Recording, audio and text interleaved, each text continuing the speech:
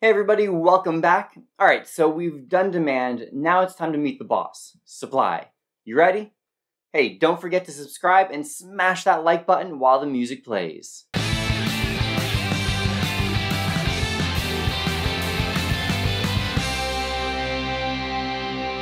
So I've always found that demand is pretty intuitive for students, but that supply can be a little bit more challenging. And this makes sense to me because most of us probably have a lot more experience buying stuff than we do selling stuff. So my biggest advice is that when we're thinking about supply, you need to put yourself in the mindset of a seller. If you can consistently do that, you'll stay gold, Ponyboy. The concepts of supply are basically the mirror image of demand. So you can do this. All right, so let's define supply. Supply refers to the ability and willingness to sell a good or service. Now, what will this look like on our graph? Remember, I want you to think like a seller. So what kind of prices do sellers prefer? And if you're struggling with that question, let me pose a hypothetical scenario to you. Let's say you're at school tomorrow and your econ teacher offers to buy the shoes you're wearing from you, but you have to sell them to her right then. She starts by offering you 10 cents you roll your eyes and don't even consider selling, right? But then she offers you 10,000 bucks, cash in hand. I'm willing to bet that you're going to take this offer a lot more seriously. Some of you will probably sprint to her and have both shoes off and practically throw them at her. Besides being kind of a weird story, this is the law of supply. The supply curve is upward sloping, indicating that there is a positive relationship between price and quantity supplied. In other words, this tells us that as the price increases, the quantity supplied also increases. And when the price decreases, so does quantity supplied. Now, just one thing here, real quick. Sometimes students at this point get fixated on a specific objection, saying, yeah, but nobody would buy a pair of shoes if it cost $10,000. And you're probably right. But that's what the demand curve is for. The supply curve's only job is to show us what sellers are willing and able to sell, and sellers prefer high prices. See, that's not so bad. Oh yeah, and we can also see this information provided to us in the form of a supply schedule, which is a table that shows the quantity supplied at each price. Again, notice the positive relationship. Now, turning our attention back to the graph, what would cause us to move from point A to point B? The only thing that causes a movement along the supply curve is a change in price. In this case, the price has risen, so we have an upward movement along the supply curve, resulting in an increase in quantity supplied. Now, hopefully this sounds familiar from our demand lesson, but a change in price causes a change in quantity supplied. I know it's annoying, but please remember that this is not the same thing as a change in supply. We'll get to supply changes in just a minute, but since we're still on our same supply curve, then our supply hasn't changed.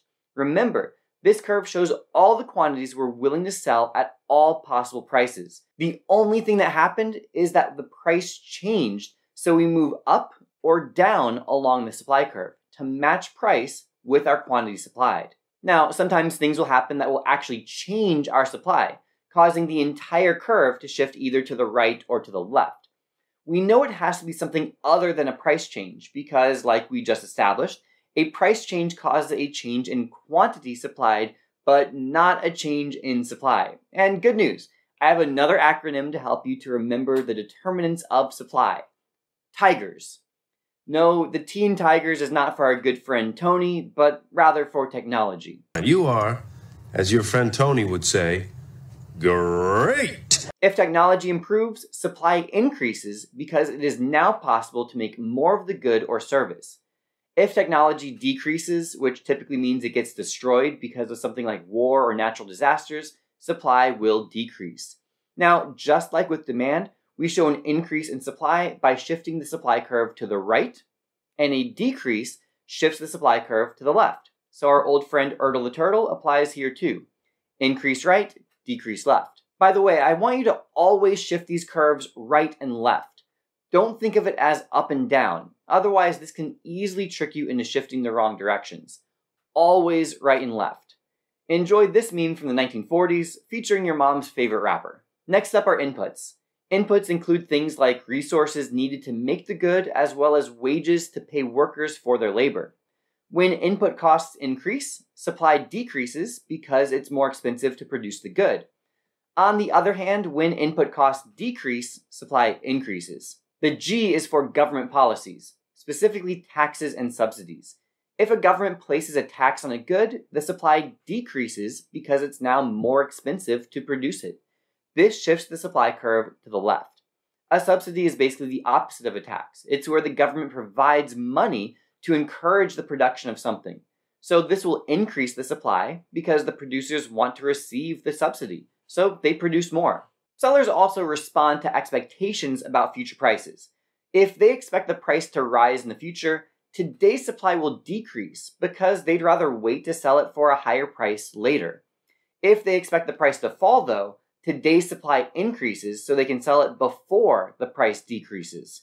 Another major determinant of supply is changes in the price of related goods. Just like with demand, I'm talking about substitutes and complements. Now, this isn't quite as simple as the demand version, because remember, we're thinking about these things from the perspective of the seller. So let's start with substitutes. Substitutes are two goods that can be made using the same inputs. For example, leather can be used to either make leather belts or leather purses making the belt and purses substitutes in production. So if the price of a substitute increases, the supply of the other good will decrease because producers would rather make the more expensive item. Using our example, let's say the price of leather belts is rising. This will cause the supply of leather purses to decrease as producers shift towards making more belts and fewer purses. Complements in production represent two goods for which an increase in the production of one necessarily causes an increase in the supply of the other. I apologize in advance for my example, but suppose that there is an increase in the price of beef. This causes an increase in the quantity supplied of beef, which means that as a side effect, there will also be an increase in the supply of leather. Nothing happened to the price of leather. There wasn't really an intention to increase the supply of leather, but as a byproduct of the increased beef production, there is now an increase in the supply of leather. Pour some out for the cow homies. Lastly is changes in the number of sellers. If more sellers enter a market, the supply increases. And if sellers exit a market, the supply decreases. That one's pretty simple, I think. Alright, well, that's it for supply. Now it's time to get supply and demand into the same room at the same time because that's where the magic happens. Until next time, this has been a LaManna production. Thanks again for watching. Please hit that like button and be sure to subscribe if you haven't already. And be sure to check out the description for links to answers to the practice questions and some of the great study aids I've made for you. I will see you in the next video.